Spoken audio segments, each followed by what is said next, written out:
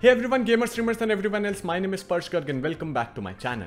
And don't you just love it when you hear the sound of tech news? It's all around you, it's everywhere. You just need to subscribe and keep hearing it so that I can direct it towards you. Starting now.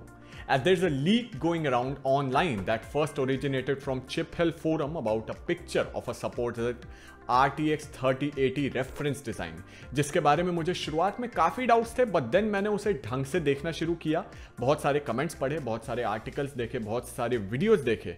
And to be very honest after looking at all that अगर ये जाली है ना तो it's one hell of a fake because just look at the detail for one the PCB with its V shape ending just before the fan begins उसके बाद Nvidia का signature silver look around the card जो कि yes blue tape से ढका हुआ है but in this case it makes it even more likely to be true क्योंकि रेफरेंस कार्ड्स में ऐसी टेपिंग होती है and most of the new electronics जो कि शिप होते हैं वो प्रोटेक्टिव टेपिंग के साथ ही शिप होते हैं। This thing even has an EMC certification mentioned on it and if you look closely उसके ऊपर छोटा सा एनवीडिया का लोगो भी है। Now most of the fake leakers ये चाहेंगे कि तुम एनवीडिया का नाम बड़ा बड़ा देखो सबसे बड़ा बड़ा लिखे वो टू ग्रैब अटेंशन बट यहाँ पे छोटा सा है। So this adds more fuel into the fire. Of course, time will tell how real this thing is, but assuming this is real, let's talk a little bit about the design shall be पहले तो it has two fans but अलग अलग sides पे एक के ऊपर एक। Twitter user could even make a model of the fan design to make it easier for us to understand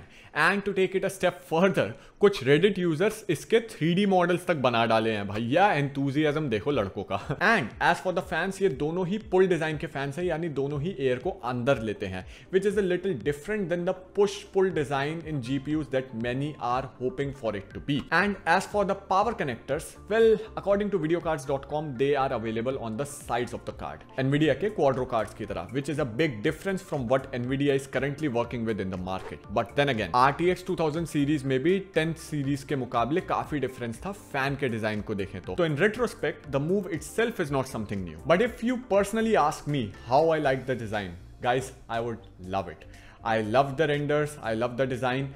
Can't wait to buy it for myself. But then again, the final design can differ a lot from this क्योंकि उसकी EMC certification अभी pending है. But that's really not stopping people from leaking the specs of RTX 3080 from left, right and center as we have a new leak about the specs of RTX 3080. Now, ये Twitter account काफी नया है, ये leaker account काफी नया है, but they have got a ton of things right in such a short time. So much so that even videocards.com follows them. But then again, and it's been a while since I've said it, do take it with a grain of salt.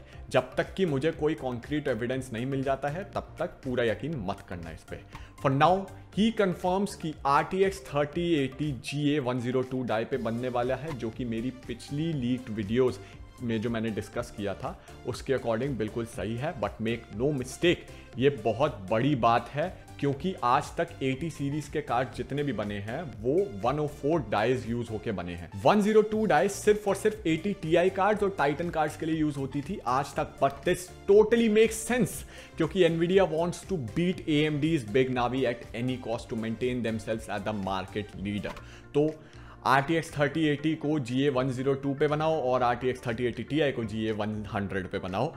वो अलग बात है कि thirty eighty T आई शायद इतना महँगा होगा कि उसे खरीदने की भी औकात ना हो किसी की। Yup that makes total sense mister Huang as long as you are winning it why does it matter if no one buys the card? Right. Right?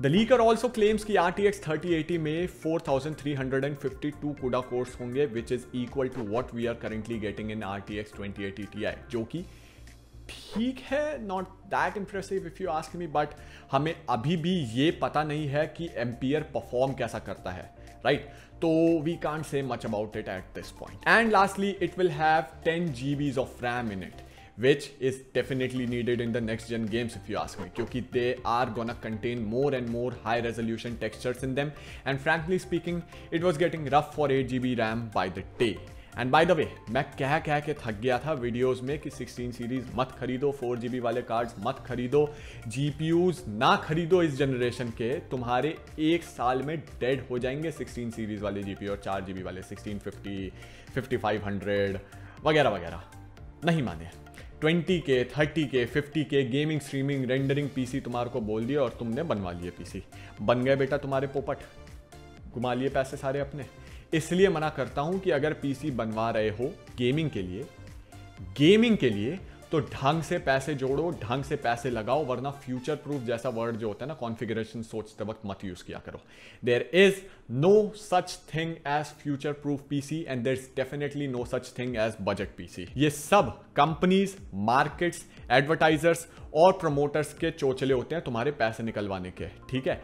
Promoters और एडवर्टाइजर्स के लिए तुम्हारे व्यूज़ ज़रूरी हैं और सेलर्स और मैन्युफैक्चरर्स के लिए तुम्हारे पैसे ज़रूरी हैं, चाहे वो कितनी कम हो या ज़्यादा हो एज सिंपल एज दैट तुम बीस हज़ार रुपए का भी देने जाओगे ना, तब भी तुम्हारे को मिलेगा सिक्सटीन फिफ्टी ले लो। तुम पैसे देने वाले बनो, हम तुम्हारे लिए चीज़ लेकर आएँगे, चाहे वो छह महीने में डेड हो जाए। ठीक है? सिक्सटीन फिफ्टी को निकले हुए टाइम ही कितना हुआ है।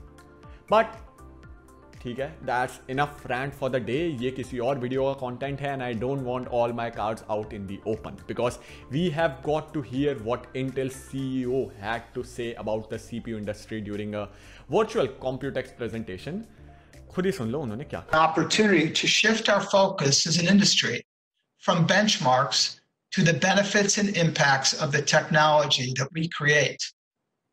The pandemic has underscored the need for technology to be purpose built so it can meet these evolving business and consumer needs. What? What the fuck? So basically this speech says कि processors कितने powerful हैं ये मत देखो but कितने impactful हैं ये देखो I mean what does it even mean इसका कोई मतलब नहीं बनता है यार सीपीयू कितना पावरफुल है is directly proportional to how much impact it's gonna have in the market ये बेसिक नॉलेज है but Intel is not the first company to talk bullshit when their asses are being handed to them, but this sour loser act is what bugs me. Nothing else. And speaking of nothing, Intel has absolutely nothing else to show us this year. Yes my friends पिछले कुछ time से leaks आ रहे थे कि Intel अपने eleventh gen Rocket Lake S processors को, जो कि 14 nanometer plus plus plus god knows how many are there at this point of time पे बने होंगे but with a different architecture जिसे हम विलो को बोलने वाले हैं। यस दैट प्रोसेसर 2020 में नहीं आने वाला। According to this new slide जो कि एक रीसेंट इंटेल पार्टनर मीटिंग में दिखी है वी कैन से कि ना तो इलेवंथ जेन इस साल निकलने वाला है और ना ही इंटेल के एंथुजियस्ट एक्स सीरीज़ लाइनअप में कोई नई सीरीज़ आने वाली है which is kind of surprising even for me but मैं सही बताऊँ तो I think this is the right move for Intel इससे ज़्यादा बेइज्जती ना करवाते हुए कुछ टाइम के लिए शांति से बैठो। Just come up with something new in due time right and sell that. You see, it's not so difficult to not be a sour loser, guys. Intel तुम्हें पता है क्या करना है? कुछ साल शांत रहो। बस, हर कुत्ते का दिन आता है। And speaking of which let's talk about the dog जिसके दिन आए हुए हैं। ए क्योंकि उनकी बात ना करूँ तो मेरी वीडियो तो हो ही नहीं सकती ना ये। Right recently Bank of America की कुछ टेक्नोलॉजिकल इनोवेशन समिट हुई थी। कुछ ऐसे ही करके नाम हुआ था। A K C Devendra Kumar. Finally a name I can pronounce normally around here को एक स्पीच देने का मौका मिला उस वाली समिट पे। भाई साहब, हम भारतीय हर जगह पर बसे हुए हैं।